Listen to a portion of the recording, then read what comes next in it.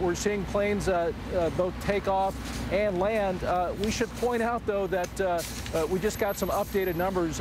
you've had more than 1,500 flights impacted in some fashion as a result of this shooting, and that equates to, to more than 167,000 passengers who were impacted in some fashion. Of course, those who who really felt it the most were those who were in Terminal 3. And I want you to listen now uh, to one person uh, who described the scene. I ran out onto the tarmac and away from the, the, the terminal where, where, the shooting was happening. And as I was running, the police came toward me in you know their cars racing toward me, and they jumped out of the cars, pulled their guns, and said, you know, hands up, hands up, get down on the ground, face down. And I mean, from, you know, from their perspective, I, I was the first guy running away from this, running across the tarmac, which is obviously not normal. So I laid down on the ground, and basically they just came over to me and they just said, stay down, stay down. They didn't ask me any questions, and then they put me in handcuffs, and they just basically, they said, stay there. Well, as for the alleged shooter himself, Paul Ciancia, we know that he took several rounds in the chest. Uh, at this point, though, we do not have his condition. Allison? Okay, Dan Simon at LAX this morning. Thank you. And we've got new information on the suspect. CNN has learned he may be a conspiracy theorist. Authorities say that they recovered materials from him that contained a rant referencing the New World Order, which conspiracy theorists believe is an elite group bent on world domination.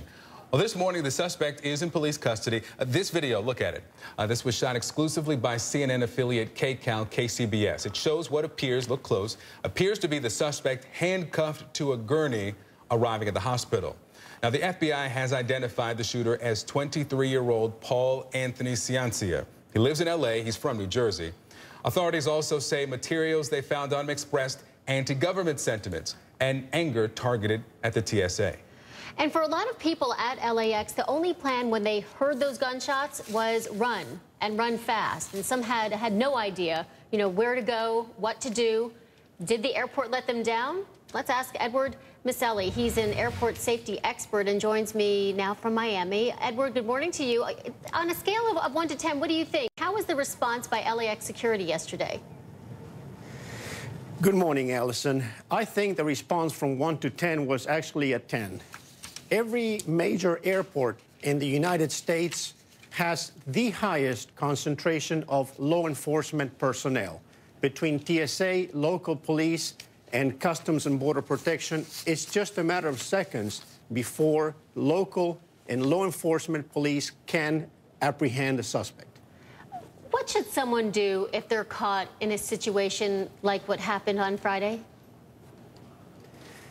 Well, this is a matter of instinct. The first thing that a human being tends to do is actually to take cover uh, and or to run away, perhaps.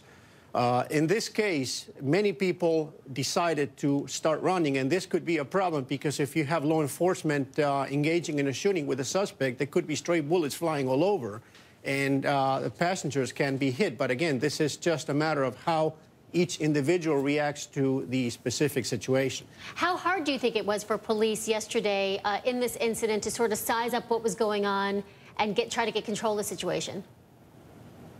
The police handle it very, very well. And again, we have to understand, and the, the public, the general public needs to realize that this is a public place. The uh, incident happened outside the uh, passenger checkpoint security area, also known as the sterile area. So it could have happened at a shopping mall, at a parking lot. And uh, again, the difference between these two places that I just mentioned and the airport is the fact that local police are there within seconds. Uh, and they handle it perfect. From what we have seen on the uh, video shots, uh, they handled it very, very good, and uh, thank God nobody else got uh, injured. You know, a lot of people are suggesting uh, that the TSA, the officers, should actually be armed. Do you think that's a good solution? But, you know, would that create more of a crossfire and, and possibly ending with more victims if, if there are more officers with weapons?